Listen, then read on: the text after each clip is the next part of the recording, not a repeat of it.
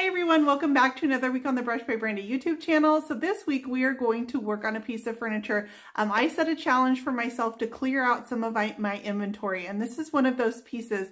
It's a really clean modern piece of furniture and I feel like when pieces have really clean lines, I also try to keep the finishes clean. So that will tell you that I try to take some of the cues for the styles that I use on furniture from the furniture itself and that's exactly what I'm going to do on this particular piece of furniture only I had an idea in my head for something that I wanted for the hardware that I could not find on the market at all, so I'm going to make it myself. Um, I also ran into a challenge on this one that forced me to kind of um, change my design ideas, and so I'm going to show you how to kind of roll with the punches on some things like that. Um, we're going to use One Hour Enamel from Wise-Owl Paint, which is a beautiful product that I'm excited to dive in a little more deeply with you guys as I go through the process of clearing out some of my inventory. Um, we're going to do some spraying, so I think there's going to be a lot of good information in this one. Stick around and let's get started. Here's where I started on this mid-century dresser, and I picked this up because it's got clean, modern lines. It's a really classic style. You can't go wrong. These pieces are kind of a blank slate. When I have pieces like this, I try to take cues on my finishes from the piece itself, and when I see clean, straight lines, I try to keep my finishes pretty clean and classic themselves as well. I'm working on this piece in bulk, so I pulled several pieces out of my storage and I'm going to be working on them at the same time. I started on this piece by first giving it a thorough cleaning and next I'm going to give it a sanding using my Surf Prep sander. This is because the existing finish was a little bit flaky and had age to it and I wanted to give it a nice smooth finish before I started laying anything over the top. This is how my workspace looked while I was working on all of these pieces. I had them all out at the same time. I cleaned them all together. I scuff sanded them all together. This really saves a lot of time, as much work as it can be. Um, I ended up being able to get a lot of pieces done a lot quicker than normal. Because I needed to sand this piece a little bit to get that old crackling finish smooth, I had exposed the wood in some places, so I knew I needed to give this a coat of primer. This is Wise-Owl Primer in light gray, and I'm spraying it with a pneumatic sprayer. This sprayer is hooked up to an air compressor. The pros to using a pneumatic sprayer are that it gives a nice, smooth, even finish. The cons are that you have to use the air compressor, which means it's not very portable. Wise-Owl Primer sprays beautifully. It is a little bit thicker of a product out of the can, so I do need to dilute it a little bit before I can spray this on. After spraying a few times, you learn the consistency that you want to get from your products, and it's pretty easy to see that primers and a lot of paints need some dilution out of the container. One hour enamel and a lot of clear coats usually come in a consistency that you don't need to dilute them quite as much.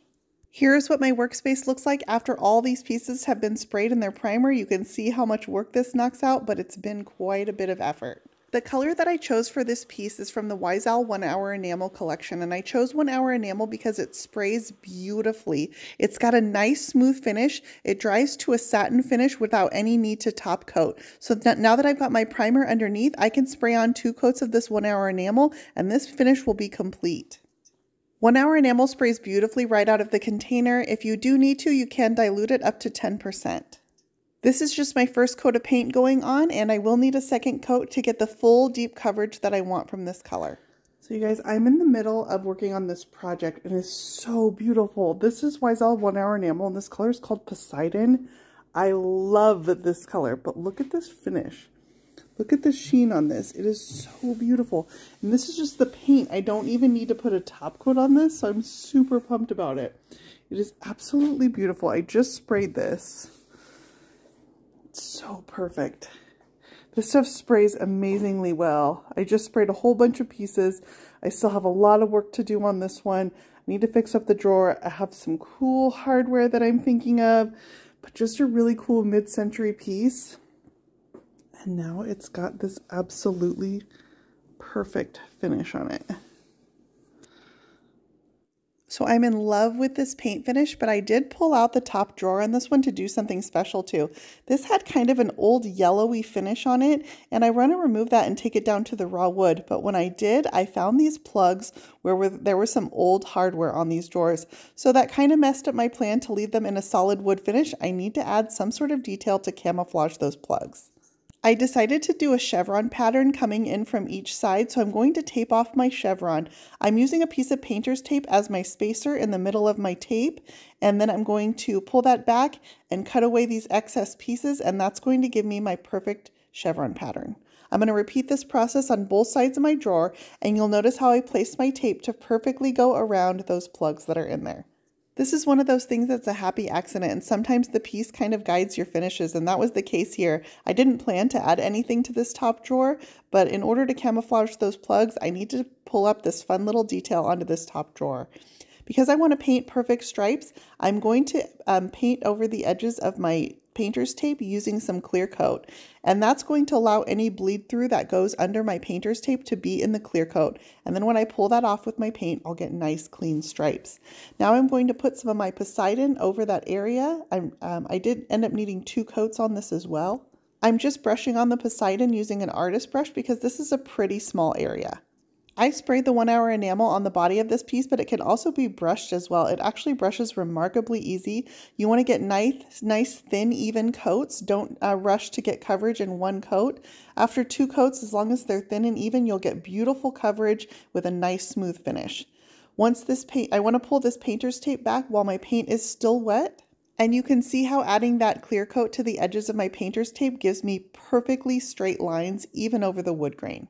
I use this beautiful bold blue color on the body of this piece and so I'm going to go ahead and line the top drawer just so when that top drawer is open it's got a special finish on the front of it and also it's going to have a little special surprise inside as well. So I chose this beautiful paper. This is from Redesign with Prima. I'm going to start by measuring out in my drawer, cutting my piece to size. Then I'm just using a heat gun to get it rid of any of the wrinkles that are in the paper from the packaging. I added two coats of white primer to the base of my drawer. White is going to make the colors on this paper pop the most. I'm going to be using Redesign with Prima decoupage gel to attach this paper. So I brush on a nice even coat underneath my paper. Then I'm going to find that 90 degree corner and go ahead and line this up and get my paper laid in place. Once I find my placement, I use the scraper tool from Redesign with Prima and I'm going to press out any air bubbles and push this into the corners of my drawer. I'm going to let this dry in place and I can come back and trim this paper ever so slightly if there's any edges that I still have some excess on. To fit the full size of this drawer, I did end up needing to seam a piece of paper together, and so I found as close of a match as possible, and I added that little piece along the edge. Now I need to make some decisions about my hardware. I found some atomic stars that I needed, I wanted to copy to go along with the mid-century modern style of this piece, and I'm going to do that using Amazing Mold Putty. Amazing Mold Putty allows me to really copy any piece of molding or hardware that I want to. In this case, I found some atomic stars just at a thrift store that I liked, and I'm going to try to make hardware backings out of them. So for this mold putty, um, it comes in a white part and a yellow, and I'm going to mix these together in equal portions. I mold them together in my hands until I get a nice, even, consistent color. You want it to be a light yellow all the way through with no marbling. It's sort of like playing with Play-Doh. Um, and the only thing you have to be careful of is you don't want to work with this too long. You have about 20 minutes before it starts setting up and becoming kind of rubbery. So you want to mix that mold putty together as soon as possible. Once you've got that part A and B touching each other, the chemical reaction between them is going to start and it's going to want to start solidifying.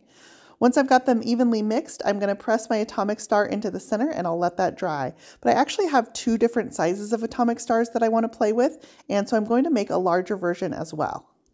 For this second star, I mixed up a second batch, and this time I need to spread it out a little more evenly. My paper plate ended up being too small, so I put it on a sheet of plastic and put my star in the center. And now I'm going to let this dry, and when I come back, it's going to be a solidified mold that I can reuse over and over and over again. Once this had solidified, I came back and I was able to just pop those atomic stars right out of the center and I've got two molds. You can imagine all the stuff that you could use the amazing mold putty for, anything that you can copy, and then you can keep these and have these molds on hand for future use. So now that I've got them, I need to mix up some amazing casting resin and I'm going to pour these into my molds to make copies of those atomic stars made from resin. I mix equal parts of A and B of my amazing casting resin and slowly drizzle those into my newly made molds. When you're using the Amazing Mold Putty, you do want to make sure that you mix it onto a flat back. And that's because when you set it for the Amazing Casting Resin to set up in them, you don't want to have a rounded back or an uneven back where it wants to sort of puddle off the edges. But I also want to show you a second option for making a mold, and that's this amazing mold maker, also from Alumilite. This comes in equal parts of A and B, only these are a red and a white version. They're a liquid, and so you can pour this over anything that you want to make a copy of, and it will also set up and solidify and make a mold. I combine the red and white portions into a cup and I'm going to stir them together until they become an even color. Once those are mixed together, I can pour them into my small dish here that I'm going to use to make my mold, press my atomic star into the center, and this is also going to solidify and make a mold. I can cast my amazing casting resin into those much the same way that I did the yellow version. So these are two great options for copying just about any piece of molding, or in this case, a hardware piece that you want. So now I'm going to mix up my amazing casting resin and I'm going to make a copy of that same atomic star using these molds that I just made in the mold maker as well.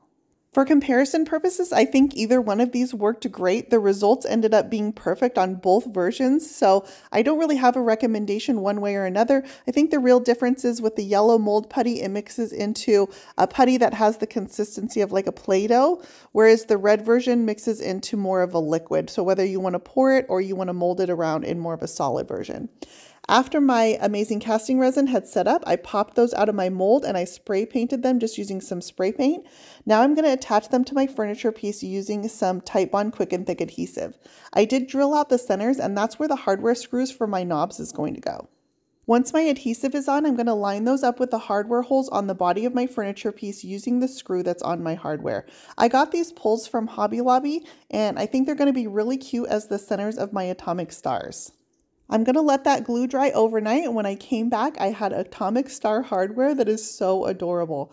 You guys, this piece is complete. The only um, drawer that I needed to top coat was that top drawer where I had the exposed wood, but I didn't need to top coat any of the rest of this piece. So this one is complete. I took photos of it, staging it with some classic artwork. My artwork also pulls in that bold blue from the body of the piece. The Atomic Star hardware is my favorite part. It perfectly suits the mid-century modern style.